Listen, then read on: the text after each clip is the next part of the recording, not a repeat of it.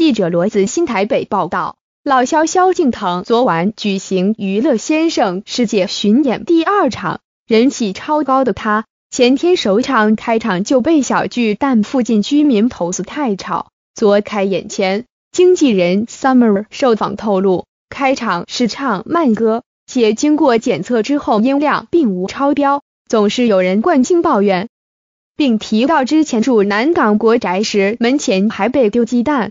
控诉他半夜打鼓扰人，但其实老肖不在家，似乎有吸引疯子来找茬的体质。老肖第一晚时情绪超嗨，一度走到二楼看台跟观众近距离互动，但该位置没有遮蔽，其实颇危险。Summer 表示，老肖有一个十五人的医疗团队在包厢内严阵以待，看到老肖此举简直心惊胆跳。据悉，团队中有耳鼻喉科。牙科、骨科医师时时刻刻注意老肖身体状况，甚至镜头拍到老肖嘴巴有蛀牙，牙科医师都会紧张不已。老肖性格随性，演唱会前打球暖身，没想到手因此受伤，怕经纪人担心，还跟助理、司机下封口令，自己缠运动绷带先不就医，因为担心医生会禁止他弹琴。坚持忍痛到演出结束才肯治疗，